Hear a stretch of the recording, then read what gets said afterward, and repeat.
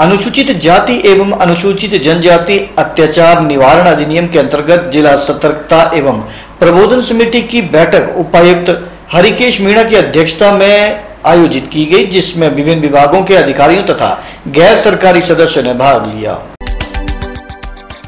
अनुसूचित जाति तथा अनुसूचित जनजाति अत्याचार निवारण अधिनियम के अंतर्गत जिला स्तरीय सतर्कता एवं प्रबोधन समिति की बैठक उपायुक्त हरिकेश मीणा की अध्यक्षता में उनके चैम्बर में आयोजित की गई, जिसमें विभिन्न विभागों के अधिकारियों तथा गैर सरकारी सदस्यों ने भाग लिया। उन्होंने बताया कि वर्तमान में जिला में उपरोक्त अधिनियम के तहत कुल पचास मामले दर्ज किए गए हैं, जिसमें ऐसी छह मामले उच्च न्यायालय में विचारित है। इसी प्रकार उन्नीस मामले न्यायालय में, दस मामले न्यायालय ऐसी दोष मुक्त बारह मामले रद्द रिपोर्ट के लिए न्यायालय में विचाराधीन तथा तीन मामले पुलिस के अन्वेक्षणाधीन है। उपायुक्त ने संबंधित अधिकारियों को निर्देश दिए कि विभिन्न प्रकार के अदालतों में चल रहे मामलों की प्रक्रिया में तेज़ी लाई जाए ताकि पीड़ितों को शीघ्र न्याय मिल सके। अल्पसंख्यकों के कल्याणार्थ प्रधानमंत्री के पंद्रह सूत्रीय त्रैमासिक बैठक के दौरान अल्पसंख्यक समुदाय के प्री मैट्रिक तथा पोस्ट मैट्रिक छात्रों को प्रदान की जाने वाली छात्रवृत्ति पर भी विस्तार से चर्चा की गई जिला में कुल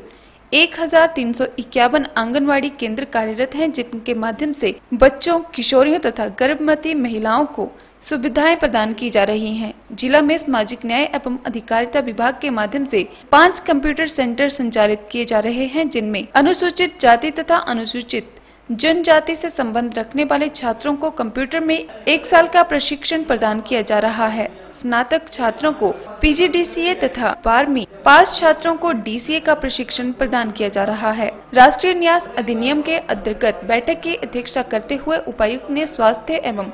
परिवार कल्याण विभाग के अधिकारियों को निर्देश दिए कि वे जिला में दिव्यांगजनों के यूनिक डिसेबिलिटी आइडेंटिटी कार्ड जिनके सामाजिक न्याय एवं अधिकारिता विभाग के माध्यम से उन्हें सूची उपलब्ध करवाई गई है, एक महीने के अंदर बनाना सुनिश्चित करें तथा इसके साप्ताहिक प्रगति रिपोर्ट उपायुक्त कार्यालय को भेजें। इस दौरान समिति ने अभिषेक कुमार तथा शिवानी, जो कि 70 प्रतिशत से अधिक मानसिक रूप से ग्रस्त पाए गए हैं, उन्हें कानूनी संरक्षक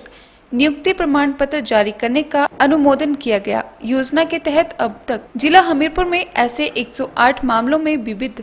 सुरक्षता प्रमाण पत्र जारी किए जा चुके हैं। इस अवसर पर पुलिस अधीक्षक अजित सेन ठाकुर, जिला न्यायवादी C S Bhatia, bar association president Naresh Jaswal CMO doctor Archana Soni, जिला कल्याण अधिकारी संजीव शर्मा, जिला कार्यक्रम अधिकारी तिलकराज आचार्य, जिला पंचायत अधिकारी रमेश चंद के अतिरिक्त विभिन्न विभागों के अधिकारी तथा समितियों के गैर सरकारी सदस्य भी उपस्थित रहे। कार्यक्रम में वक्त हो गया है ब्रेक का, मिलते हैं ब्रेक के बाद।